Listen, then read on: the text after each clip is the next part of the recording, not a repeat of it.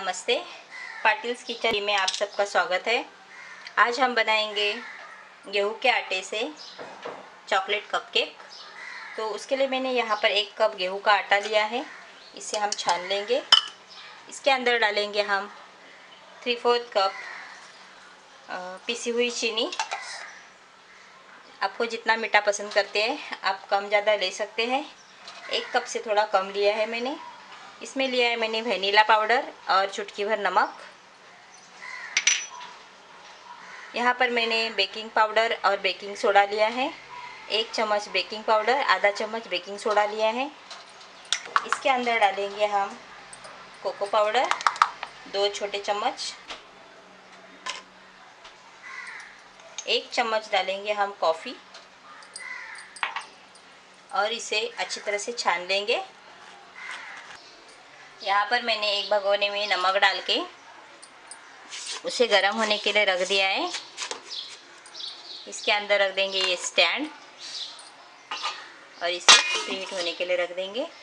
Gas की flame को मैंने फास्ट रखा है, इसे हम 10 मिनट तक प्रीहीट करेंगे। इसे अच्छी तरह से छानने के बाद इसके अंदर डालेंगे one tablespoon vinegar white vinegar डाला है मैंने। और इसमें डालेंगे वन फोर्थ कप ऑयल ये कुकिंग ऑयल डाला है। इसे अच्छी तरह से मिक्स करेंगे।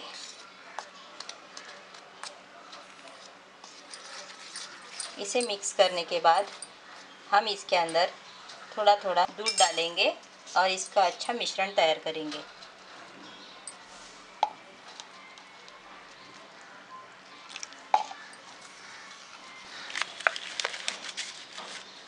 मैंने यहाँ पर ये जो सिल्वर फॉइल होता है, उसका डिश रहता है छोटा छोटा कप वैसे मैंने गोल्डन वाला ही लिया है। और इसे मैंने ऑयल से ग्रीस करके लिया है। अब इसके अंदर हम ये मिश्रण डालेंगे।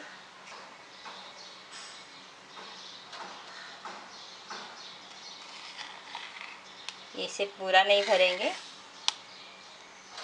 थोड़ा थोड़ा ही भर देंगे।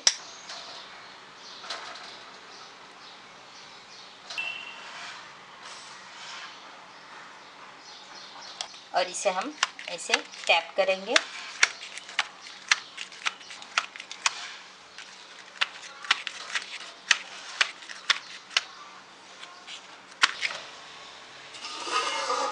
अच्छी तरह से प्रीहीट हो चुका है।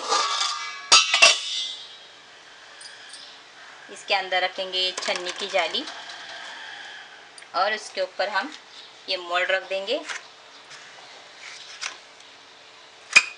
इसमें हम थोड़े थोड़े चोको चिप्स डालेंगे।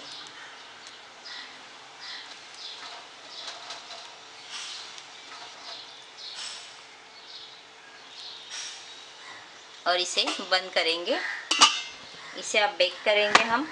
आप इस तरीके से कप केक भी मिलते हैं। केक बनाने के कप्स मार्केट में अवेलेबल है। उसका भी इस्तेमाल कर सकते हैं। इसके अंदर मैं ये पेपर का कप भी डाल रही हूँ। और इसके अंदर हम ये मिश्रण डालेंगे।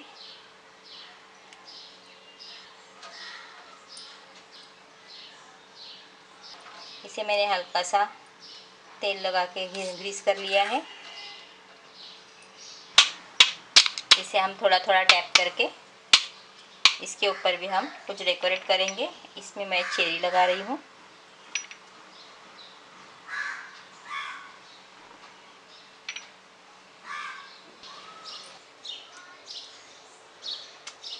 चलो देखते हैं। वाह बहुत मस्त लग रहे हैं। देखते हम, पके क्या नहीं, ये देखो। बहुत अच्छी तरह से पक चुके हैं। अभी मैं गैस की फ्लेम को बंद कर रही हूँ और इन्हें बाहर निकाल रही हूँ। इन्हें बाहर निकालने के बाद मैंने फिर से गैस ऑन किया है और ये हम कप केक रखेंगे इसके अंदर और इसे भी हम अच्छी तरह से बेक करेंगे। इसे भी चेक करते हैं। वाव ये भी बहुत अच्छी तरह से बनकर तैयार है। अभी इन्हें हम बाहर निकालेंगे और इसे बनाने के लिए एक बैच बनाने के लिए हमें 20 मिनट लगे। इसी तरह मैंने सारे मफिन्स और सारे कप केक बनकर बना कर लिए हैं। ये आप देख सकते हैं इसका टेक्सचर